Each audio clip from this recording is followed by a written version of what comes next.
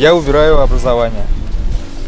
Каждый самарец может выбрать то, что волнует именно его, и дать знать об этом властям. В Самаре проходят молодежные акции «Я выбираю». Члены общественного молодежного парламента при Гордуме собирают мнение молодых людей и делают своеобразную статистику наболевших вопросов.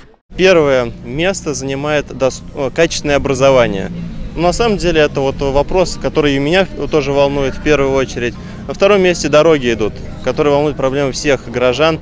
Активисты проводят акции во всех районах города. Они общаются с разными людьми, и помимо тех вопросов, которые заявлены, каждый может оставить свое пожелание.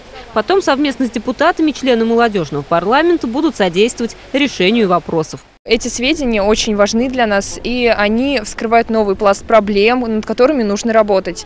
А, конечно, мы этой акции напоминаем людям, что важно не молчать, а именно выражать свою гражданскую позицию. И только когда в районе, регионе и городе, только тогда будет возможно развитие. Стартовала акция в минувшее воскресенье и длится уже неделю. Каждый желающий заявить свое мнение может смело подходить к активистам в любом районе города.